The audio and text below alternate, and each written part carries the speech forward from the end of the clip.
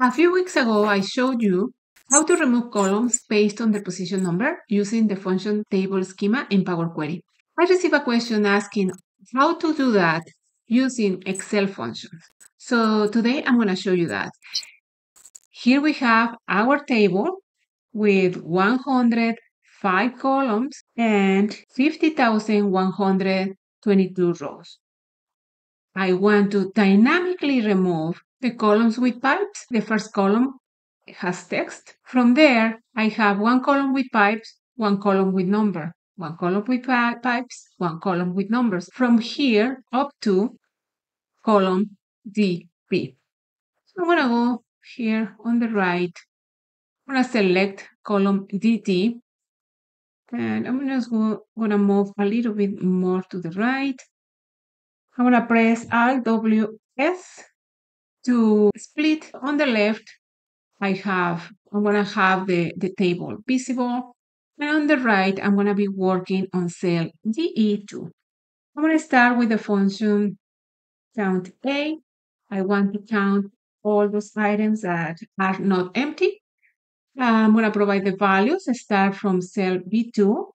I'm to select all that row up to column DB which are the headers for this table too.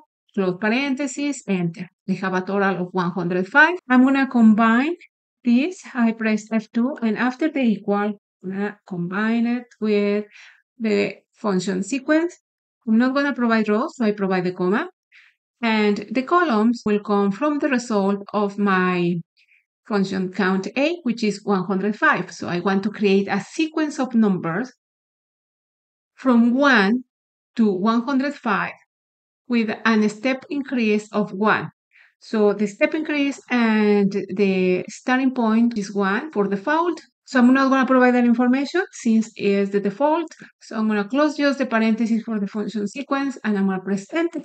And as you can see, I have a sequence of 1 to 105 with a step increase of 1. I'm going to go back to my cell DE2 and now I'm going to combine this with is false. If the number is false, then it's going to give me a true. If it's not false, it's going to give me a false. I'm to go to the end, close parentheses, and enter. And sure enough, I have true, false, true, false, and so on and so forth. From here, I want to convert this into numbers. So to do that, I'm just going to multiply this by 1. Press enter, and here I have ones for true and zeros for false. Once I have this, then I'm ready to use my function filter. After the equal, I'm going to say filter. The array will come from the content of my table 2, so from B2 up to cell DP 50,123. Control backspace to go back to my active cell. Here is my table to all, comma, after that. So that is my array. And now what needs to include will come from the result of my function is odd. Go to the end, close parentheses, and press enter. And here we have, let me remove the split, Alt WS. And here I have our table without the pipes. If I select from cell DE up to FE, my number is 53. It's 53 columns from the original 105. So just keep in mind that this is the result of a dynamic array.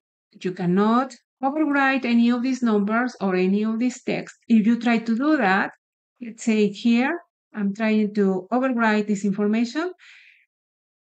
I'm going to have an error because the dynamic array won't have enough space to spill the result. So if I remove that text, now I have enough room for the dynamic array to spill the result. I hope you found this information useful. If you like it, please give a thumbs up, subscribe to my YouTube channel, and follow me in LinkedIn. Thank you so much for watching, and I'll see you in the next video. Bye-bye.